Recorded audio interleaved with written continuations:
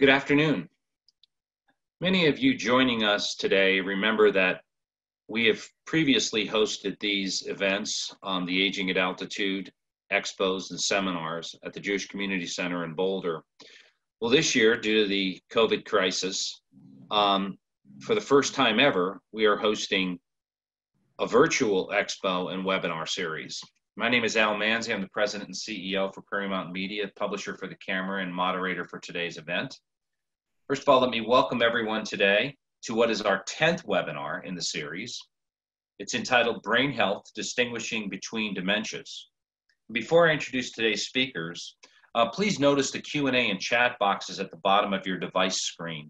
Um, you can enter your questions anytime during this presentation, so you don't have to wait till the end to enter them.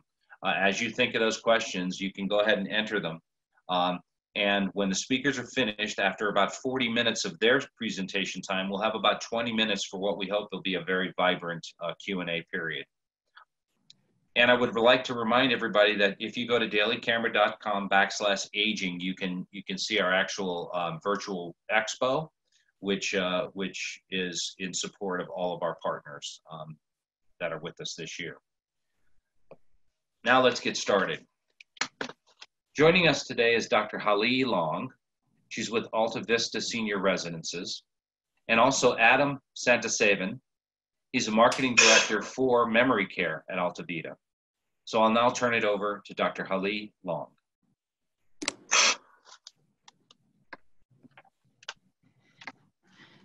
Good morning.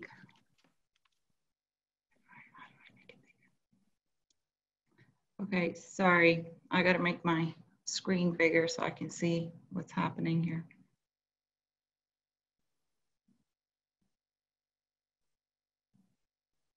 Can you guys see me?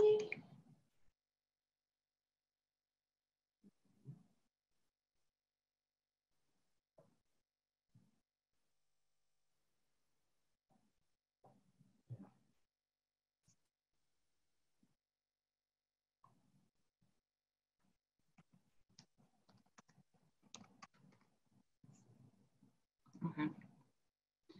But how do I make it bigger so I can see my screen too?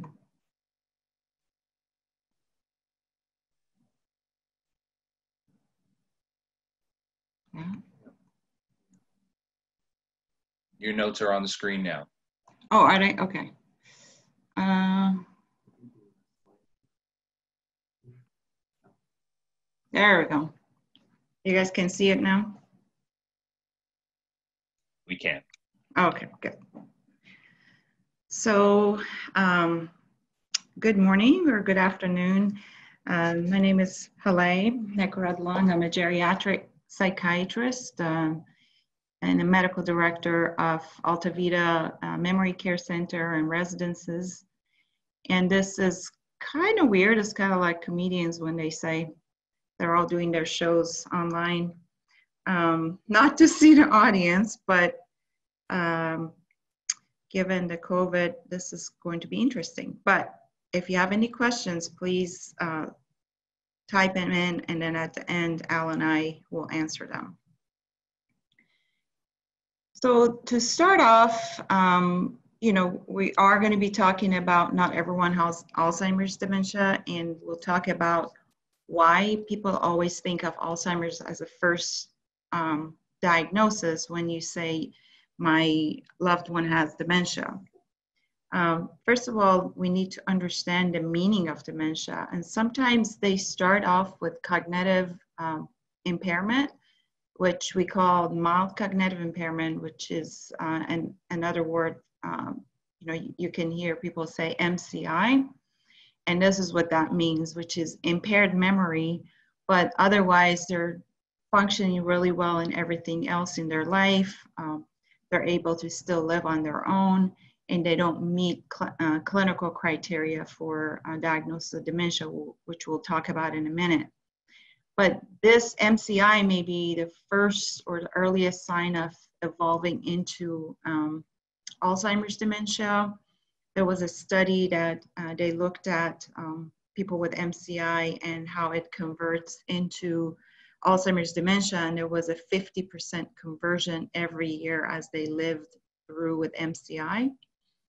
Um, and at this earliest level, neuropsychological testing, which we call neuropsych testing, uh, may be helpful to um, pick up people with diagnosed MCI.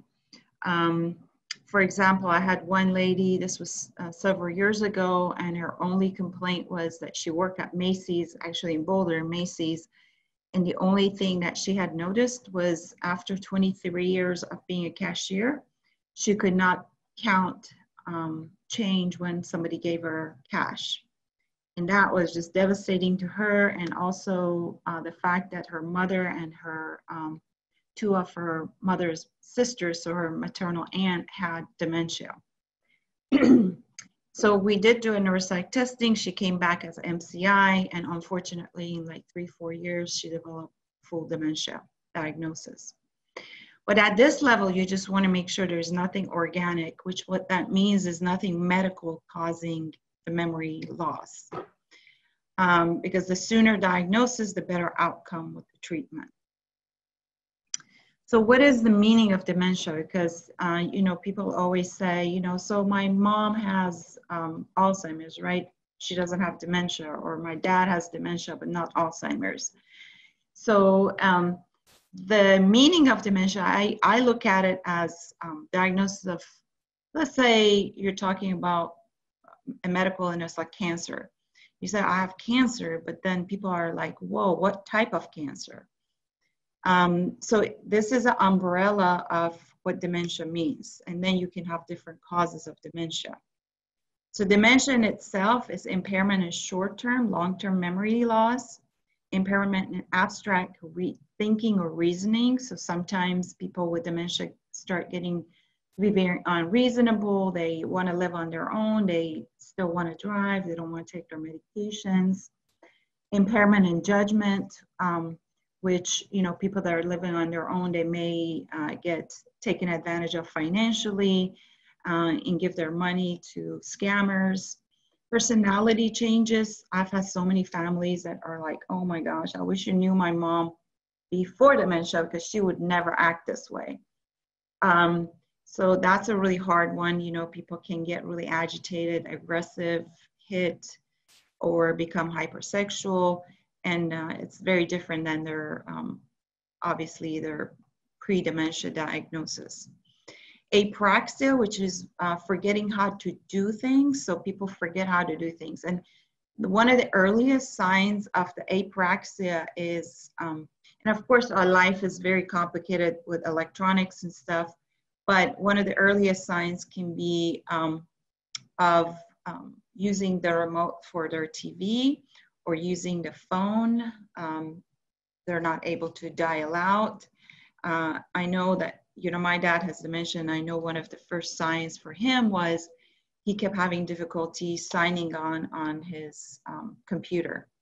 And we had to go through it every time. And, you know, us as family would get mad at him because he couldn't figure it out. And then finally, in a few years, um, he was diagnosed with dementia. Uh, aphasia is difficulty with speech, and uh, you know people with uh, dementia develop having uh, difficulty finding words, uh, difficulty expressing themselves, but also it can be the other way around too. They're unable to understand. So there are two types of dementia, uh, aphasias. One is expressive aphasia, so they're not able to tell us what they want to say. And the second one is comprehensive aphasia, which is they're not able to understand what we're ta- trying to tell them. So it could be you come and you go, hey, Joe, you need to go take a shower. But all they hear is, hey, Joe. They don't know what else you're asking them or why you want them to take a shower, which, which can be a sign, um, kind of trigger for agitation. So, so that was the diagnosis. Um, that was series of symptoms, right? So you got um, different types of dementias. And one of the first ones, which is the most cases, is Alzheimer's dementia. So 55 to 65% of people have Alzheimer's dementia, which is why I think the first thing you think of when they say you have dementia, you think of Alzheimer's, which is pretty good chance that that's what it is, but there are other types of dementias too. And we'll go through all these in a minute. I'm gonna spend um, like two, three minutes on each type of dementia, but you can have Alzheimer's, you can have vascular dementia, you can have dementia with Lewy bodies, Parkinson's disease patients, if they live long enough with Parkinson's, they will develop dementia. Um, frontotemporal lobe dementias, which are hard ones to de deal with, and we'll talk about that in a minute too. Um, then there's chronic alcohol use, um, B12 deficiency, infectious disease. If you don't know that you've had syphilis uh, most of your life and it ends up becoming neurosyphilis at a young, uh, at an older age, HIV, um, cancers like brain tumors, meningiomas, um, and there are other types which I'm not going to spend too much time on because um, they're rare. So Huntington's, mad cow disease, um, progressive supranuclear palsy. So there are different types of dementias that can be caused. But the first one, 50 to 60% of our population, when you say they have dementia, they have Alzheimer's. And it's interesting because the first time um, this was diagnosed or described was in 1907 with Dr. Alois Alzheimer's, who um, originally he thought this was like a rare disease. And the first patient that he had was a 52 year old woman who um, was psychotic, uh, having difficulty with um, personality changes. And back then, you know, they thought like she had schizophrenia or she was possessed. Um, but he started to look at it a little differently that no, this is not your normal psychosis. There's something else wrong with this lady. And then after she passed, they did a um, brain um, autopsy and she he found what we'll look at in a minute.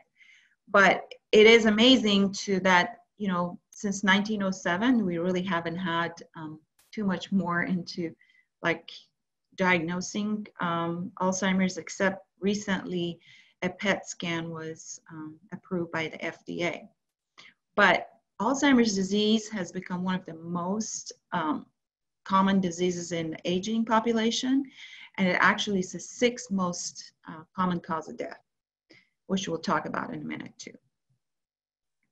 So Alzheimer's dementia, age is number one risk. So if we all live long enough, um, it's highly likely that you will end up with um, dementia.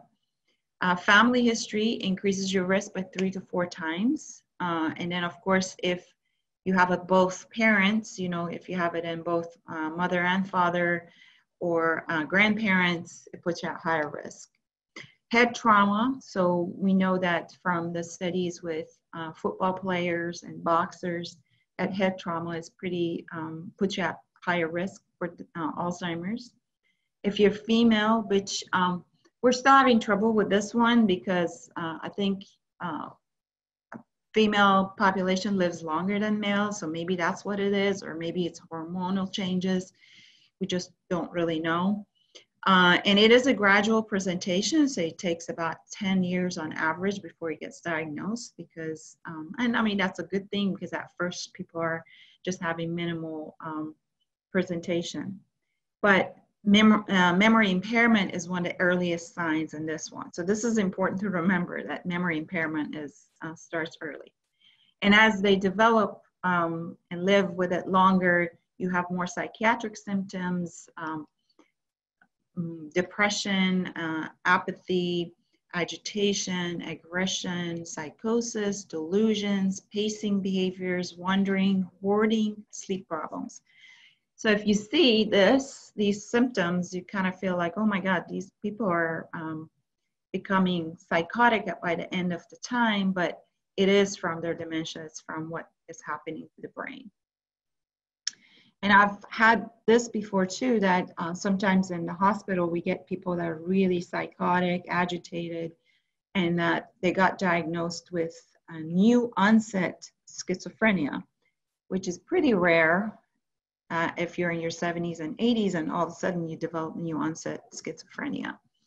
Um, so don't fall for that. It's probably um, dementia with psychosis. And here's one, I just picked this up from the Alzheimer's Association uh, website. Uh, it's quite amazing because, you know, right now we have 5.8 million people living with dementia. And as you can see, um, as I said, age is number one risk. And as you can see, number uh, one, 65 to 74 uh, years old, there's about 17% of them. After age 75, it becomes almost 50%. And after age 85, there's 36% that are living with dementia. And this number is supposed to um, uh, triple by uh, year 2050 because we're all living longer. And this is what's happening in the brain. So I like to show this to family members that are having difficulty uh, understanding and accepting the diagnosis of dementia because sometimes the behaviors are really tough to handle and families are like, I know my mom is doing this on purpose or my dad's doing on purpose. But look at their brain. Like if you see, this is your frontal lobe. Um, and then if this is a normal brain, so normal brain, hopefully we all have this right now, which is a plump, um, healthy brain. And as you get plaques and tangles, um, your brain starts to shrink. And this is what you see on an MRI. It would say um, brain atrophy, which basically just means brain shrinkage. Um, so as you get more tangles, as you get more plaques, um, our brain is a protein, so it starts to kind of shrink up. And uh, look at this, the frontal lobe is pretty bad, and so is the um, temporal parietal lobe. In this one, I like to show actually to caregivers because um, it's a better understanding of what's happening to the brain. This is the PET scan, and this is a normal brain. Again, hopefully most of us attending this have this type of brain, which is the red is good, red is healthy. Um, and as you get early Alzheimer's or uh, that mild cognitive impairment, you start losing some stuff from the back of the brain. This is the back of the brain right here. Uh, and this is the front of the brain. Um, so you start losing some healthy tissue and uh, parietal temporal lobes. And as your dementia progresses, you start losing frontal lobe plus temporal and uh, parietal lobe. And as you can see, when you're, this is a brain of a um, four-year-old um, brain, four to five-year-old brain. And as you can see, your brain starts looking a lot like when you, there's a child. And I'm not saying these are children, it's just their behaviors becomes um, more childish like. Um, so they um, have tantrums. They say no. They don't want to shower. They are um, agitated when you uh, approach them with something, when they don't want to do something. Uh, so this is a good one to kind of keep in mind uh, that, you know, my loved one is not doing this on purpose. Uh, like I have to keep reminding my mom of that, which is, it's hard to be a caregiver, but um, that is the reason. So as you can see, is there's a progression and their brain looks like a child. Um, so we're moving on to the vascular type dementia. Vascular type dementia, as I said before, it was 10 to 15% of uh, dementia diagnosis, most likely have vascular type. And this is, just as it says, it's um, uh, from strokes, mini strokes. You can have a focal sign, which means you can get a weakness on one side of um, your face. You know, they have they can have a droopy face, or they um, have weakness on their um, left or right side. And it happens quickly, so it can be abrupt onset, but then afterwards it's kind of a more um, slower progression than Alzheimer's is. And the onset of the dementia can happen uh, within three months of your stroke. So just because you had a stroke and at the beginning you didn't have any memory problems, but as you live with it longer, you may be having some mini strokes or what we call TIAs, transient ischemic uh, uh, accidents. And um, as you get more of those, you start having more uh, memory problems. And uh, with autopsy, we're finding that um, there's a lot of mixed as you age, uh, as you get older. Like I said, you're at high risk of uh, Alzheimer's, but also as you get older, we see more and more of a combination of Alzheimer's and vascular type dementia.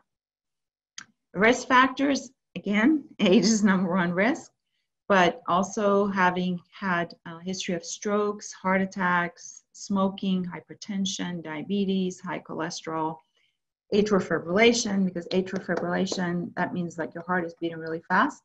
So there's a high risk of um, little uh, clots forming and getting um, many strokes.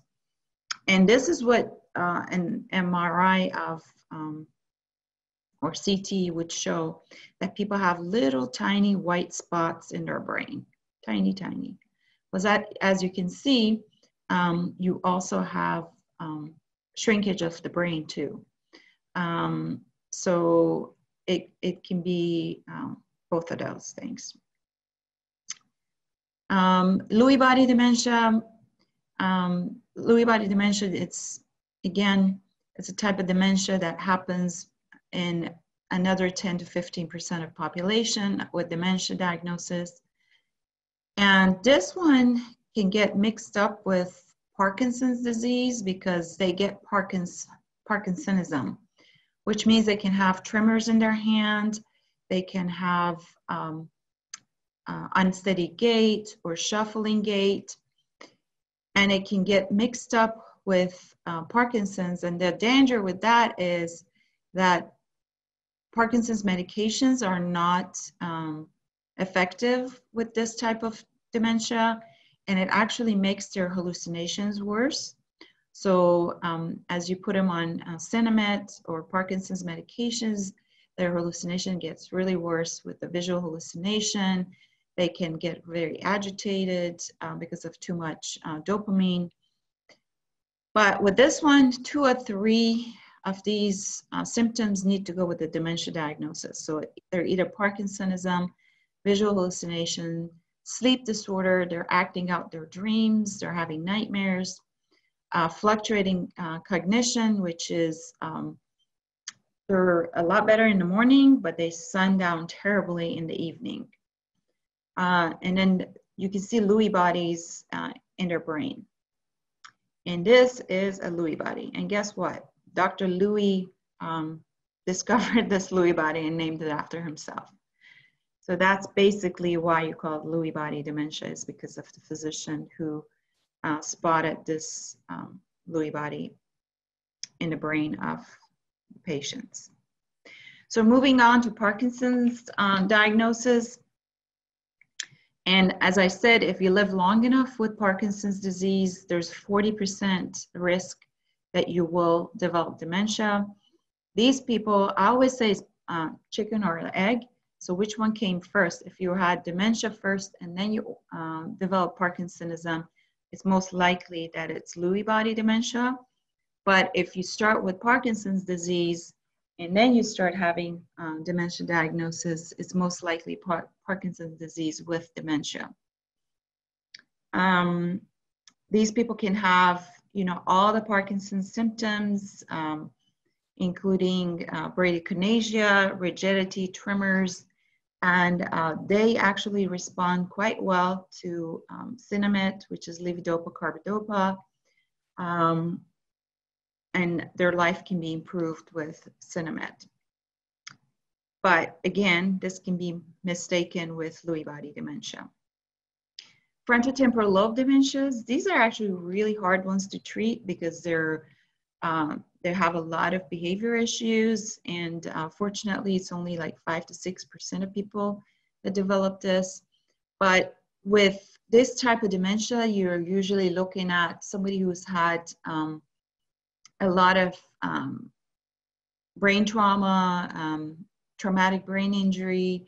Um, alcoholics can get frontal lobe dysfunction. Um, so with this type, actually memory is at the later stages of the disease. So usually they um, start having personality changes, labile mood, agitation, hypersexuality, which is very embarrassing for family members. Um, and then they develop uh, speech difficulties, um, forgetting how to use things, uh, naming things, uh, having difficulty with expressive aphasia, and sometimes at the later stages, they develop echolalia, which is they're repeating your words when you say it. Usually memory is at a later stage of the disease. Um, and they do have abnormal brain imaging, which I'll show you in a minute. But the problem is we don't have a lot of good medications to treat this. So you're usually trying to treat the symptom. And this is what a brain of a frontal lobe dementia looks like. As you can see, uh, the front, this is the front of the brain. This is a normal brain. This is a brain of uh, frontal lobe dementia patient. And as you can see, it's pretty impaired comparing to a plump brain. Um, and then alcohol dementia is another one because um, a lot of patients develop alcohol dementia at a later um, time in their life and they they always say but you know but dad quit like 30 40 years ago but that doesn't matter dad already um, damaged his brain by using uh, severe alcohol or um, alcohol use at a younger age even if you quit uh, 10 20 years ago the effects are still um, permanent and um, there's actually a term they call it alcohol related brain damage uh, which is caused by, caused by regular drinking um, too much. Um, and we believe that it is because of a vitamin B1 deficiency or thiamine deficiency. Uh, and also, heavy drinking uh, is a toxin to the brain.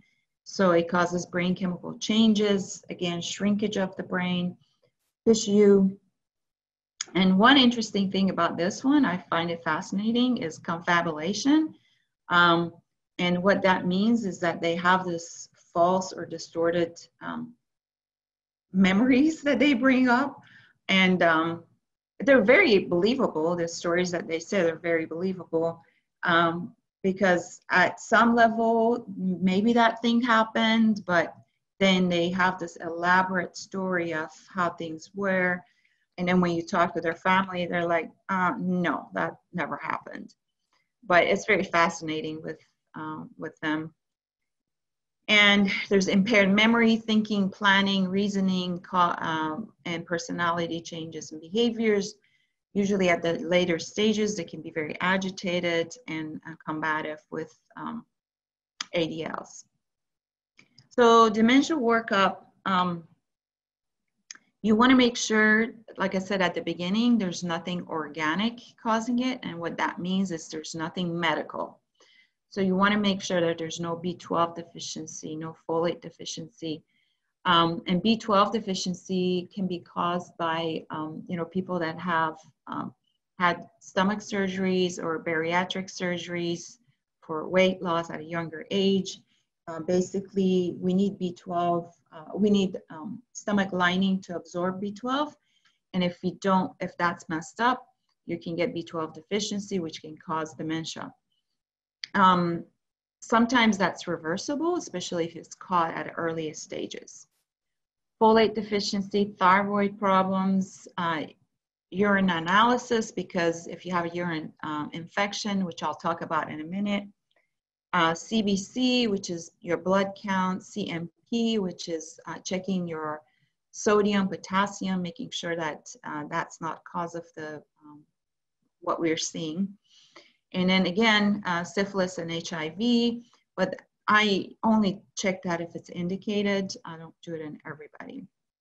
Brain imaging, and um, just recently, about a week ago, there was actually a FDA approved uh, PET scan um, which is great because now what that means is that insurances are going to start uh, paying for PET scans because it's really hard to get insurances to pay for PET scan, uh, ruling out um, dementias. Usually they want you to get a CT or MRI. So with this recent FDA approval, hopefully we'll get um, some more coverage for the PET scan. And then neuropsych testing, like I said, if you're not sure of the diagnosis, uh, checking a neuropsych testing, which is about a three to four hour testing. If it's shorter, it means that you didn't do so well, so they kind of cut it short. But if it's longer, it's actually a good sign because it means you're doing well. Medicare pays for neuropsych testing. Um, so usually I do that if I'm not sure what type of uh, dementia I'm thinking about or if they're at early stages. Questioning alcohol and pain medication use because both of these can affect your memory. And if you're continuing to use alcohol or pain medication, opioids is a huge one, and you're having memory difficulties, um, this is a really good one to ask. Depression and anxiety screen because we actually had a term for uh, people with depression and dementia, which is called uh, pseudo dementia. So, what that means is that it's not a real dementia. So, if you treat the depression, um, sometimes the dementia or the memory loss goes away. But the studies have also shown that if um, you are developing dementia from depression and it gets better, it's you're a higher risk of uh, developing uh, the real dementia later on. And in insomnia and apnea work, um, it's important, especially if people are having nightmares or having difficulty sleeping through the night or acting out their dream. And remember, this was uh, the acting out your dream was part of um, Lewy body dementia um, diagnosis. A huge one is ruling out delirium because I can't tell you how many people I get on my unit that um, they're saying this person is demented. However, um, they have been sick. So you can't diagnose uh, dementia in the midst of a delirium episode. So you have to kind of look at the whole picture, look at the big picture. Um, and 30 to 50% of um, sick dementia patients or geriatric patients become delirious at some point during their hospital stay. But I can assure you that all of us, um, all hundred of us, I guess, um, have been delirious at some point in your life. Because if you've been under anesthesia and after you come out of anesthesia and you're kind of out of it, you're delirious. Or if um, you have um, had a temperature of 101, 102, 103 as a child, um, you become delirious. So all of us have been delirious at some point, but it's very important for elderly to diagnose dementia because it is a rapid onset. So it can be hours to days, brief duration, hopefully. Sometimes it's um, can last for months, and sometimes they don't clear all the way back, especially if you have dementia. Alternating level of consciousness, so they're um, sundown really fast, and then they are disoriented, disorganized, they have memory impairment. Psychosis is huge in this one, um, and disruption of um, sleep-wake cycle. So what that means is they sleep during the day, they're up at night. Uh, and in my um, with the caregivers, they're very good at picking this up these days because um, I've done this um, talk with them too. That you know you guys are the front liners, so you need to tell me if this was this person is all of a sudden is really agitated, like psychotic, they're not sleeping through the night. Okay, what's number one cause of um, delirium? I can't hear you, but I hope you all said urinary tract infection um, because that is number one cause of um, delirium in older patients. Uh, and it's really easy to fix, correct? Because you just need uh, antibiotics. It may take a few weeks for them to clear up, but once they've had this delirium uh, with a urinary tract infection, in the future, every time they get psychotic or they have increased memory problem, the first thing you want to do is check for a UTI. Of course, all the other medical problems can also cause um, delirious dehydration, and I had one case, um, this woman who was living on her own, and um, she got very psychotic and uh, delusional, confused. And when the daughter took her to ER, she was dehydrated. But what had happened was that she didn't want her daughter to tell her, hey, mom, you can't live on your own because you keep eating bad food and having diarrhea. And that's what had happened to her. She um, had, she was eating something bad from her fridge. She had diarrhea. She didn't want to tell her daughter. So she got dehydrated, ended up delirious, ended up in hospital for three days. Uh, pneumonia can cause it, flu can cause it, actually COVID can cause it. Um, we've had several um, delirious cases from COVID. Constipation, which is amazing, right? Because you wouldn't think like constipation could affect your brain, but it does.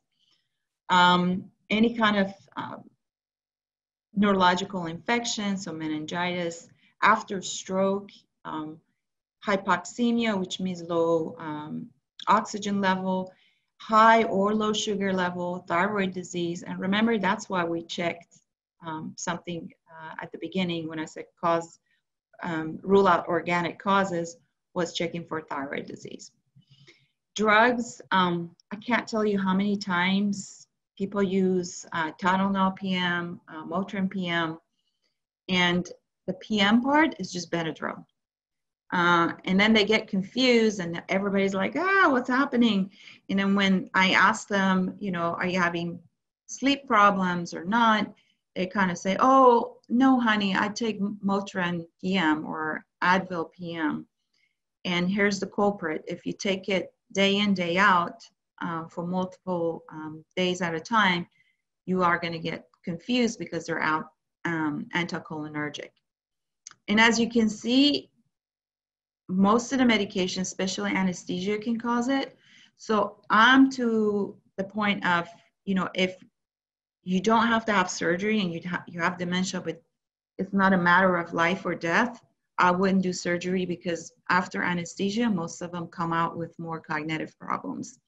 And I can't tell you how many times people have had, like, um, it happened to one of my good friends, actually, her mom had a cardiac issue, which wasn't like death or life, you know, living, but the cardiologist was like, yeah, no, it's just a, you know, a one hour procedure. She'll be fine. And she was never fine. Um, she got very delirious and actually passed away in the hospital. Um, drug withdrawal, and um, this is another big one. Alcohol is a huge one. Uh, I've gotten consults before that people come in like just for like a knee replacement, and then all of a sudden they're just confused as all you can get, and people are like, oh my God, is this person demented? But then when you ask them about their alcohol use or you ask the spouse about alcohol use, they um, tell you that, oh yeah, they were drinking, but we're just embarrassed to tell you how much they were drinking. So please be honest when you are having surgery about how much benzos, which is Ativan, Valium, Xanax, or pain medications, how much you use because we can prevent it from happening. We can put you on something for withdrawal so you don't experience the delirium. Reasons for delay, delayed diagnosis. Uh, a lot of people think that it's a part, part of normal aging. Um, but the only thing normal about memory is slower processing. It is not normal for you to have short-term memory problems or long-term memory problems.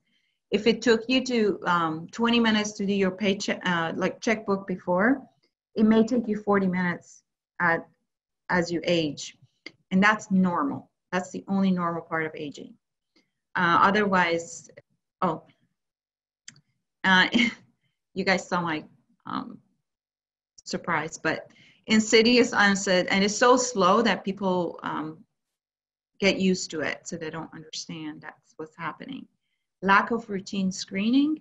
However, Medicare recently put in um, that everybody needs to be screened once a year above age 65, once a year for memory loss. So hopefully we're going to catch people a little sooner. But the biggest one is denial. And this denial can be from a denial of patient or family members. And this is why I love doing what I do. I love little feisty um, elderlies that come in with their boxing gloves and telling me that you can't tell me, you know that I have dementia and I can't take my own medications or I can't drive. But sometimes, well, not sometimes, all the times I'm the bad guy and I'd rather be the bad guy than the family. Uh, you know, that you can just blame it on me to say, you know, she said you can't drive. I didn't say that.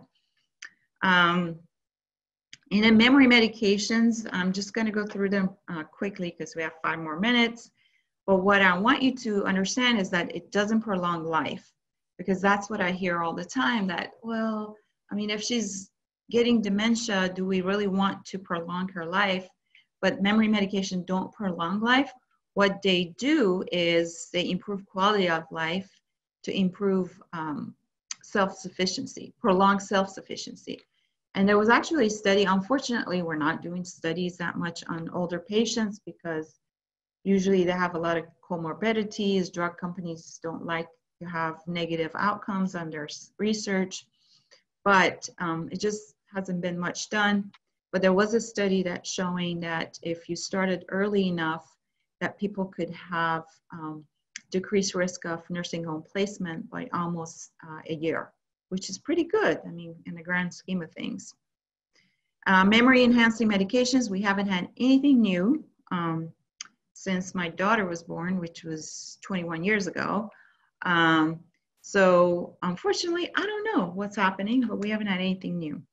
Um, that we, we keep hearing about uh, dementia vaccine, uh, new dementia, um, and that doesn't mean there's not enough studies because uh, when I looked last, there was 164 new um, products under uh, investigation for dementia, but you know nothing has panned out. A couple of reasons. Um, one is that we're using um, the with the case studies, we're using people that are already demented, so it, it's you know, it should start at my age, like in your 50s, when uh, you have, like my dad has dementia, I'm um, 50 plus. Uh, so it should start in me so we can see if this is going to prevent it or not. But it's since it's so expensive to follow somebody for 10, 20 years, we're just not seeing that. And I think we're just capturing the wrong population. And then also, um, when the older patients have comorbidities, so uh, drug companies don't like to um, enter people that have comorbidities because it um, reflects negatively on their studies. But expectation with the memory medications, um, maybe you have some improvement, but really this is what you're looking for. You're looking for less than expected decline or no change because you want to keep the person steady and functional at the level they're at. So we don't have anything that reverses the uh, dementia. Um, and behavior problems are huge. Uh, I'm going to run through this pretty quickly because I think I only have two minutes. Uh, but depression, anxiety, isolation, agitation, psychosis, which can be visual, auditory hallucinations, so people can see things or hear things that are not there sleep uh, disturbances, poor appetite, inappropriate sexual comments or behaviors, uh, which are embarrassing for family members. Uh, and then there's always this kind of depression versus apathy because a lot of dementia patients with that frontal lobe that I talked about, um, atrophy, they get apathetic. That doesn't mean they're depressed. Um, and it's really hard for the family and uh, staff to deal with this because they're like, so and so is so depressed. They're always in their room. But I can tell you that when I've gotten this, and there was one case that was just the cutest thing ever. Uh, as soon as I walked in, she, I mean, she was just sitting there in her room, no TV on, but she was totally content. And the first thing she told me was that I like your sweater because I wear a lot of colors all the time. And and I was like, well, if somebody depressed, first of all, they wouldn't notice my sweater. And second of all, usually they tell me to get the hell out of their room. They don't want to talk to me. Um, so this person was apathetic, which just means it's, um, they're not concerned. They're just, they just don't have any interest in things. they're not sad. And the reason I'm emphasizing on this is that antidepressants are not effective.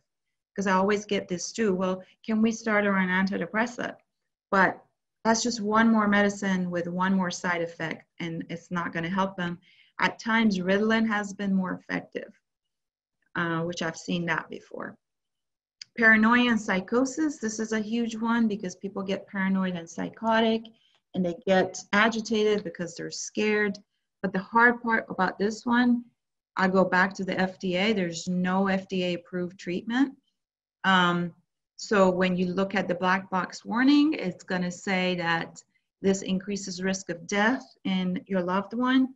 And I've had so many family members that have said, I don't want my mom to live in fear so please go ahead and use it, um, which they can be pretty effective. Caregiver burden, I mean, you guys know it better than I do if you're attending this conference that, um, you know, you do a lot of work that is unpaid. And sometimes um, they're ungrateful because they don't know, like my, you know, my dad, when he's mad at my mom for changing him, he doesn't, he's not doing it on purpose, but uh, it's a kind of thankless job, let's say. Um, and psychological costs to the caregiver is huge. 80% of them uh, report high stress level. 50% of them actually meet diagnosis for depression. And as you see this one, signs of stress in caregivers, it's amazing because it looks like you're the patient. Anger, anxiety, depression, exhaustion, sleeplessness, social withdrawal. These last two, um, just from my own experience with my mom and dad. So when my dad doesn't sleep, my mom doesn't sleep. When she stops taking him out because she's embarrassed of his behaviors, um, she starts becoming socially withdrawn and um, her world gets smaller. Health problems because they put uh, they put their health problems on the back burner. They won't go to the doctor because they can't take the person. So as you can see, this looks like you can be the patient, the caregiver. And wandering behavior, about 59% of people that live in the community wander off. And there's no way of predicting it um, because sometimes they can get in their head that I'm going to work or um, I got to go pick up my kids. Uh, and if they're not found within 24 hours, Almost 50% of them die of hypothermia or dehydration if it's hot outside. This is a huge, um, really nice program. It's called Safe Return Bracelet. And um, I've had several of my patients being found this way. Uh, there was one example of um, this gentleman who actually took the screens off his um, window at their home because the wife had all sorts of locks in the front door, so he couldn't get out the front door. But he had taken the screen off because he was an engineer and had um, wandered off. And the mailman down the street found him, looked at the bracelet. And the nice thing about this one is that um, it's actually an ID. It doesn't have where you live, but it has a number for the 1 800 number that they call. And um, the police is um, alerted. And actually, the this time with the postman, they called the wife at home and they said, "Do you know where John is?" And she said, "Well, at home." And they're like, and she said, "I'm in the kitchen." They're like, "Nope, he's on ninth and whatever." So she went and picked him up. Uh, and I love Alzheimer's Association. Um, you know, they're always there for you, and um, they're, they're not volunteers. These uh, phones are answered by professionals. Uh, reasons for placement, uh, disease severity, loss of functional abilities, like, you know, when you become incontinence is really hard to deal with. And of course, behavior problems of uh, paranoia, agitation, uh, wandering up, not sleeping through the night, all those things. And um, so I'm gonna look at that. I went over like four minutes, but I'm sorry. But um, I want you to, if you are in Boulder, please, please, please join our walk. I'm hoping that this will still happen, but it may not with COVID. So, but they still need money for research. And the Alzheimer's Association is one of the um, few uh, charity that spends um, 89 cents of a dollar on uh, services. So they do research, they uh, provide uh, respite care for families, they provide the 24-7 um, hotline, uh, they provide the, um, the uh, WanderGuard or the WanderGuard bracelet. So um, even if you're not going to join it, you can donate. And I don't care if you donate to our team or not, just, just donate to uh, Alzheimer's Walk in Boulder. And it's a beautiful walk. Uh, it happens on CU campus, and this will be their fourth year there. But that is the end of my, um, let me see. Now I got to figure out. Dr. Long, that was great. Thank you. Um, we uh, we have tons of questions, so I wanted to uh, I want to move into the question and answer period here. Okay. Um, so if you can, uh, because we went long, let's uh, let's try to keep the answers as succinct as possible. Yes. What physician do you recommend to conduct this type of testing? So, so um, yeah, so um, neurologists are usually pretty good. I mean, preferably a geriatric psychiatrist like myself, but we're such a unicorn in this world that there's not um, anybody in Boulder County, but neurologists can do it. And um, there are uh, what we call neuropsychologists um, who do the neuropsych testing. And like I said, Medicare um, pays for a lot of those testings. Excellent. So that would be, and then you can start with your primary care physician and tell them that you're having problems and have them refer you to different resources. Excellent. Does testing and a negative outcome impact one's ability to get long-term life insurance? Would you know that? Yes, it does. So get your long-term care insurance before, especially if you got, um, if you're suspicious, and then apply and then do the testing. But yes, it does. I mean, it's just like having uh, a medical problem like diabetes. Um, but yeah, they have access to your records. Um, and it is the world we live in, unfortunately. What advice can you give to somebody who has to, who's trying to convince a loved one to get tested? Um, so at the beginning, like I said, uh, people are usually very um, difficult to agree to it. But if they're not going to comply with the testing, they're not going to comply. I've had people that come into my office and they just fold their arms and just sit there. They're like, nope, nope, not answering that, not going there. But as a caregiver, I think I always listen to the caregivers and think, if you're telling me that this is happening, I believe you. Um, but yes, it's very difficult. But sometimes getting your um, children involved, sometimes they listen to the, your, your kids better than to the spouse um, or somebody that they um, trust because sometimes when you're a spouse and you're a close one, you know, I talked about the delusional thought process. That's actually one of the number one um, type of delusion with um, psychosis with dementia patients is that they think their spouse is against them or they're having an affair or, um, you know, so that can be iffy. So if you can find somebody else they trust. And Dr. Long, there is a really good um, educational program that is put on through the Alzheimer's Association called Dementia Conversations that does specifically address the conversation of when is it time for testing and how do we have that conversation or when is right. it time to move into a community or bring in additional help and how to approach that with the individual in question. Yeah. Thank you for saying that. But yes, that's what that's why I said, you know, the Alzheimer's Association is a great um, program and please donate if you can. Um, Dr. Long, what causes B12 dementia? And can this be caused by long-term use of acid reflux medications? That's an interesting question. Uh, yes, it can actually, because so B12, like I said, it's absorbed through our gut. Uh, there's a layer that absorbs it. And uh, yes, we're finding that if you're on PPIs forever, that there's a risk of B12 deficiency. But just because you have that um, doesn't mean you can't, if you need to take the PPI or the acid reflux, you can take it, but make sure you get a B12 um, test too.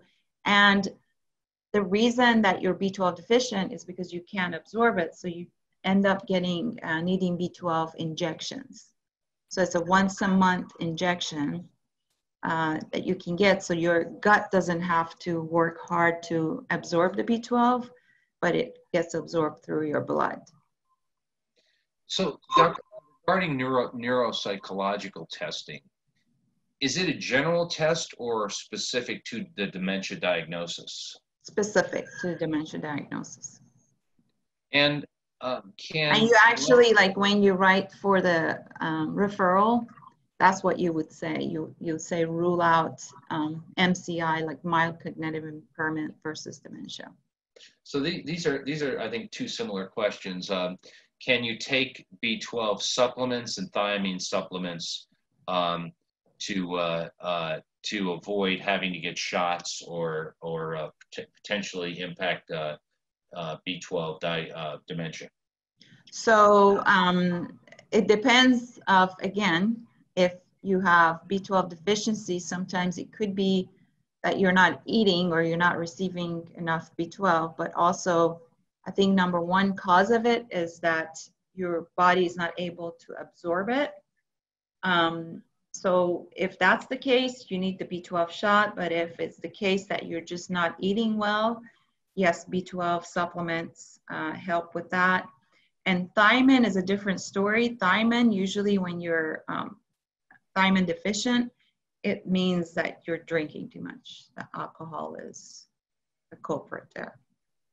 And so I would, I would, I would say, you know, cut down on your drinking and you can take thiamine um, supplements orally. And do you re- recommend getting, this is an interesting question, do you recommend getting a brain scan uh, at say 65 to establish a brain image baseline? You can if your insurance pays for it because the insurance won't pay for it just to say for the heck of it.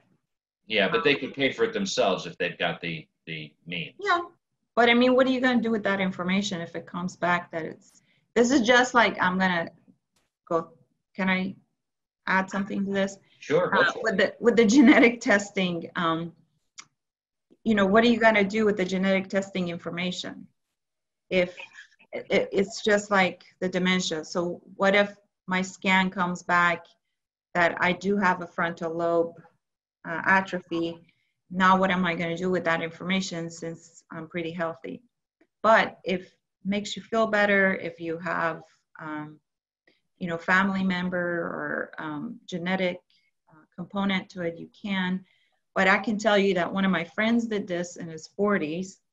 Um, and he went as John Doe, like, because he didn't want it in his, um, you know, uh, medical records. So he bought something online, did the testing, and now we're in our 50s. And every day of his life, he's like, I'm going to be demented. Just because you test positive for genetic testing doesn't mean you're going to develop it it just puts you at higher risk. So and, if you would like to do that, that's fine. But remember too, if it comes back positive and then you haven't had, you didn't buy long-term care insurance, then you're kind of screwed because it's in your uh, medical records. Interesting. And um, so talking about lifestyle, um, you didn't really talk at all about that. Can you, what, what type of lifestyles do you recommend to prevent dementia? Um, overall. So that's that's its own lecture of 45 minutes, but in short, it's um, whatever it's good for your heart is good for your brain. And there was a study that looked at seven different types of um, preventions. And the only, so it was like omega 3, um, hormone replacement, um, anti inflammatory, um, I can't remember all of it. Oh, puzzles. And there were two more. And then the seventh one was exercise. The only thing that came out uh, protective was 20 minutes of aerobic exercise four to five times a week. So, and what that means is you get to the point that you can't talk that well. That, that's what aerobic. And it's just 20 minutes. You don't have to do it for an hour. You don't have to do it for 45 minutes. Uh, so exercise is number one. Number two is, uh, again, anything good for your heart, good for your brain. So keeping your uh, blood pressure under control, diabetes, um, so hypertension, diabetes, cholesterol, um, um, oh, uh, apnea, because if you're continuously getting hypoxic at night, um, like if you're a really bad snorer, uh, you need to check that out, not just for your bed partner, just check it just because it's bad for you. Because uh, what that means is your brain goes into hypoxia every night. Um, and then, you know, there's some studies saying that Mediterranean diet is better. And the reason being is because it's all good, good antioxidants um, with Mediterranean diet. It's uh, lower beef or lower um, meat, higher vegetables, uh, olive oil. Um, so all those things are avocados, um, omega-3s and food.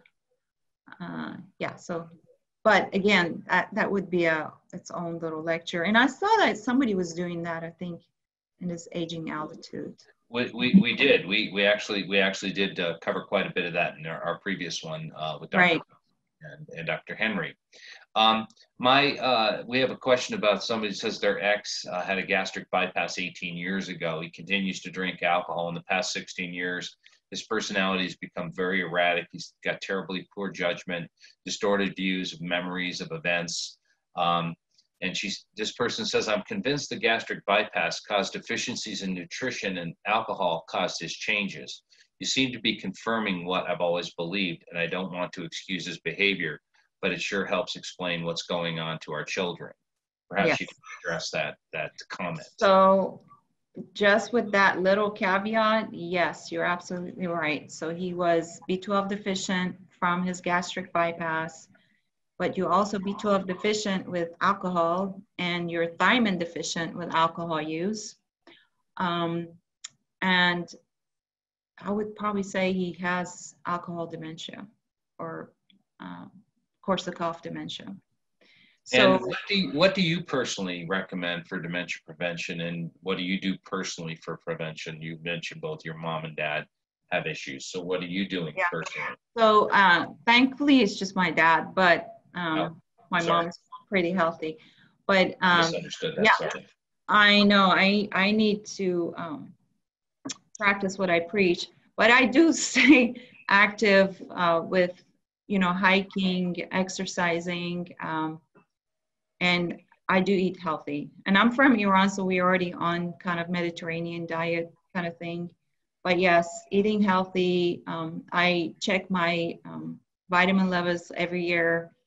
Uh, but most of us in the US are vitamin D deficient. Not that that causes um, memory loss, but it can cause um, bone loss. And uh, so I would recommend you getting your um, vitamin levels checked, your thyroid checked, um, exercising, keeping your blood pressure, blood sugar down. And I do most of those. And and perhaps Adam could could uh, could tell us a little bit about um, what families should expect when they uh, when they when they make a visit to your to your uh, to your care facility.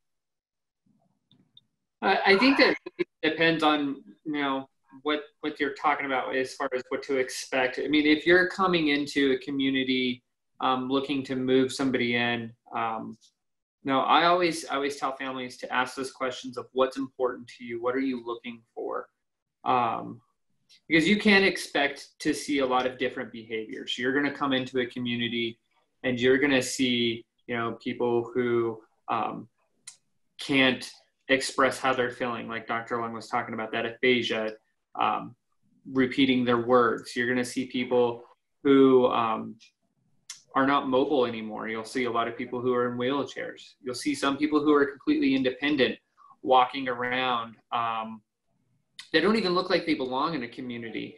Um, so what what to expect is it's a very broad kind of statement to, to ask there. Mm-hmm. Um, I think each community, um, you know, I'm always going to be in support of Alta Vita, but um, you know, there's tons of different care communities out there that are fantastic, and each one of us have a different philosophy of what care looks like. Um, and I think really it comes down to being able to, um, you know, kind of envision what you're looking for for your loved one, what type of care, what type of environment, um, and just doing your research and really looking at all the different options and visiting those options, asking questions. Um, I always tell families there's no such thing as a dumb question. Uh, there's really not because this industry is so vast and we all offer so many different things that um, you can have multiple communities that are a fit for you.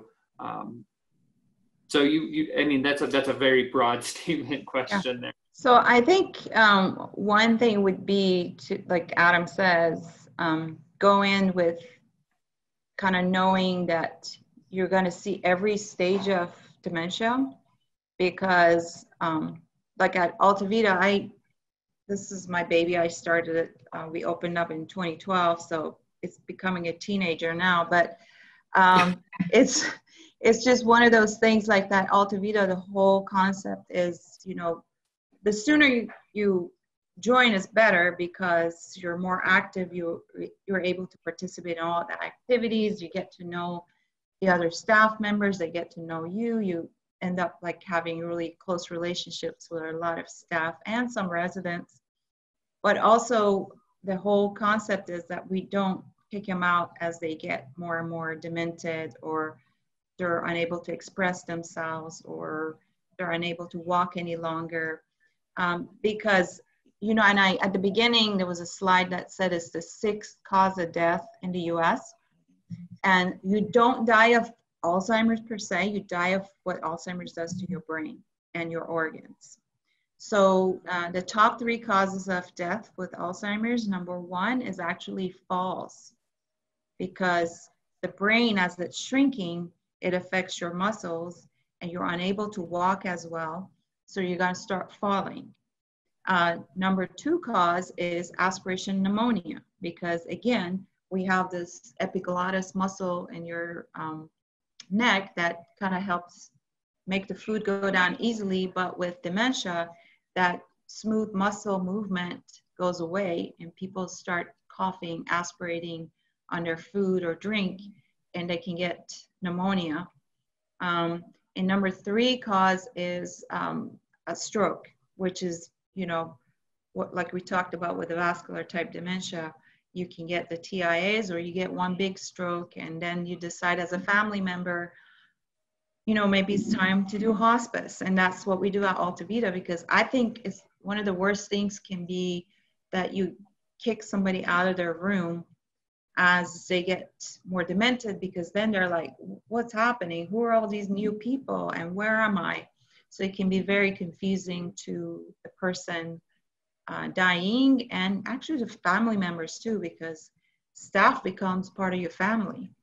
And that's what's been really hard about covid uh, that families can't visit because we actually miss the families too you know as much as they're missing us or they're missing their loved ones because we used to have people that come and volunteer that play the piano you know they bring cards and so we're missing them just as much as they're missing us Dr. Luna, that was, you know, we, we went very long on this one and, and, uh, there's just always so much interest in this. You, you did a, a marvelous job. Uh, Adam, thank you for, for being here. Uh, I just want to remind everybody that, um, uh, we, you've got access to the videos um, and the webinar and all, all the webinars at dailycamera.com backslash aging. This one will be available this evening.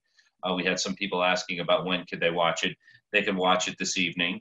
Um, and also uh, tomorrow's program or Monday's program rather is a webinar on hospice and palliative care um, uh, being presented right. through community care. So uh, again, I want to thank everyone, uh, especially Dr. Long and, and, and, and, Adam for uh, just a terrific presentation. And uh, I know we didn't get to every single question, but Um, I know they're available if you have, if you, if you desire other information from And them. one last word is, especially since you said there's a um, hospice conference, um, people do, uh, you can um, qualify for hospice with dementia diagnosis.